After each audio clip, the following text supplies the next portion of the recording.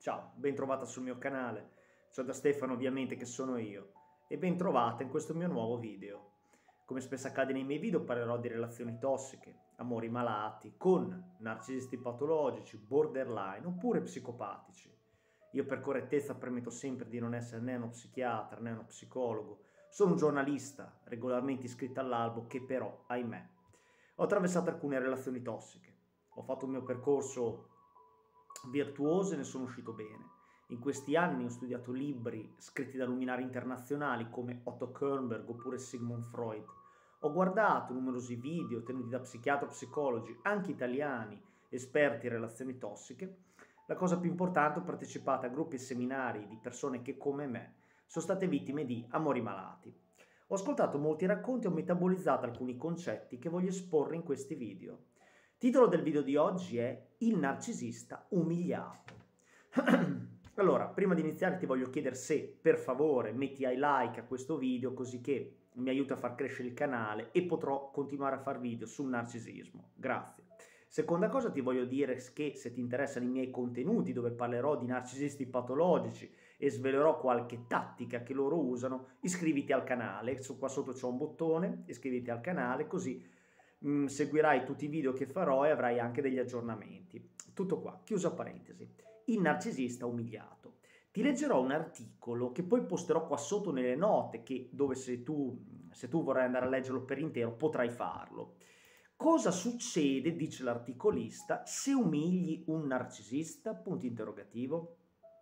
Essere in presenza di un narcisista patologico, ricordiamo il narcisismo patologico è una patologia, è un disturbo di comportamento, un disturbo di personalità vero e proprio, inserito all'interno del manuale diagnostico e statistico dei disturbi mentali DSM, quindi è una patologia vera e propria che consta di caratteristiche precise. I narcisisti patologici le più importanti sono senso di grandiosità, il narcisista patologico si sente superiore a tutti.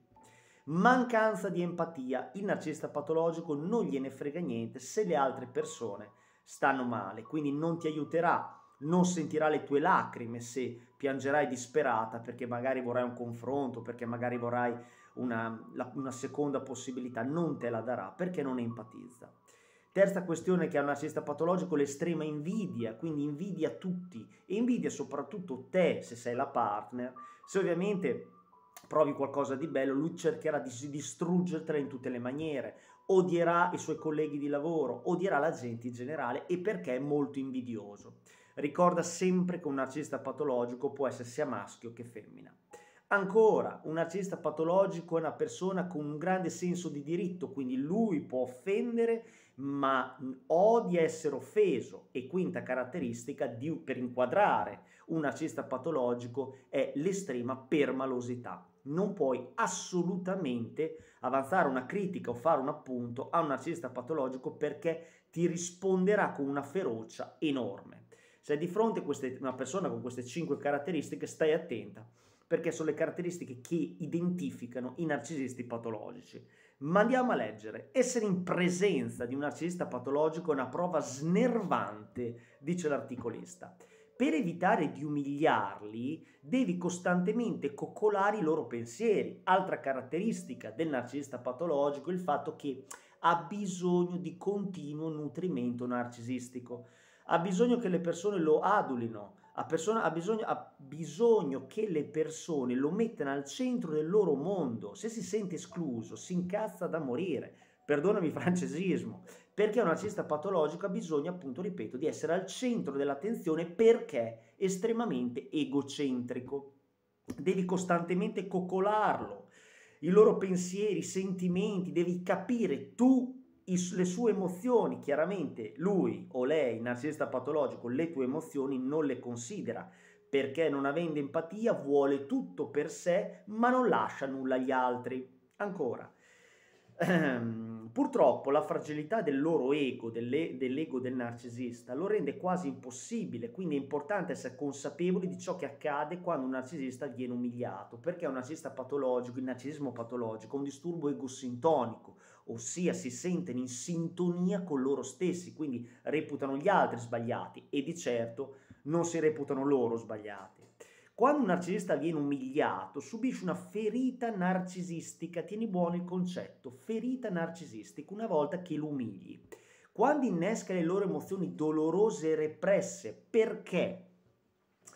Un narcisista patologico è una persona che è stata umiliata emotivamente in giovanissima età, tendenzialmente dai 0 ai 7 anni, ha subito degli abusi emotivi, probabilmente in famiglia, e lui si è chiuso dentro per non sentire il dolore, ha lasciato tutto fuori, gli si sono sporcati i neuroni specchio e quindi non riesce a empatizzare. Lui pensa che le persone siano strumenti da utilizzare per poi scartare. Non riesce a vedere esseri umani veri e propri con le loro emozioni, i loro stati d'animo. Assolutamente no. Il narcisista patologico vede soltanto degli oggetti da utilizzare. Se una persona non lo umilia ma lo critica, riapre la ferita narcisistica delle critiche che lui ha ricevuto in infanzia ed è per questo che scatena una grande furia narcisistica contro chi lo, lo, diciamo, lo contrasta oppure lo, lo critica semplicemente e gli fa un appunto. Quindi bisogna stare molto attenti a criticare un narcisista patologico. Per stabilizzarsi, i narcisisti potrebbero usare la rabbia narcisistica, come ti dicevo prima, l'autovittimizzazione e lo scarto, e lo scarto per riprendere il controllo delle loro emozioni. Ti potrebbe scartare. Se tu offendi un narcisista patologico oppure lo critichi, lui sai cosa fa? Non ti risponde al telefono. Oppure sai cosa ti dice? No, non sei fatta per me. Ciao, ci lasciamo. Perché lo fa? Perché è un'esplosione di rabbia, però non, non ti lascia in maniera definitiva. Quando ti lascia in maniera definitiva lo fa in maniera più... lo capisci perché è una persona che lo vedi già da prima che ha qualcosa da nascondere. Prima, quando lo vedi sempre più distante, a un certo punto cosa fa? Ti lascia magari bloccandoti oppure senza darti spiegazioni. E lì è, un, diciamo, è una chiusura definitiva che significa potrebbe stare alcuni mesi senza farsi vedere. Poi ovviamente tornerà perché un narcisista patologico al 90% ritorna sempre dalla preda, dalla ex lasciata.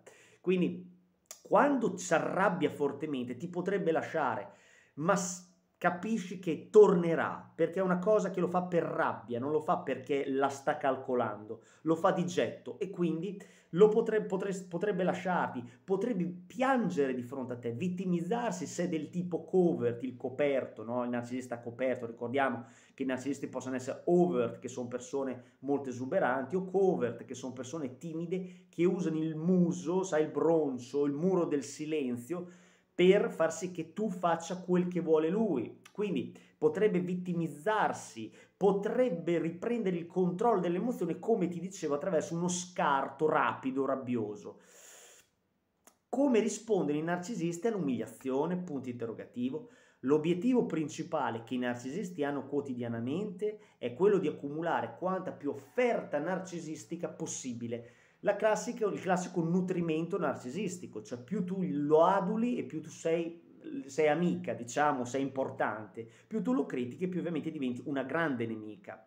Il termine offerta narcisistica si riferisce alla convalida, come ti diceva, all'ammirazione che gli altri devono dare al narcisista, alla rassicurazione che i narcisisti ottengano dal loro ambiente esterno, perché ricorda che il narcisista patologico è una persona fragile, ha bisogno dell'adulazione altrui per vivere bene, perché se no si sente un signor nessuno o una signora nessuno. Quindi ha bisogno di continuo nutrimento narcisistico, quindi cosa significa? Ammirazione?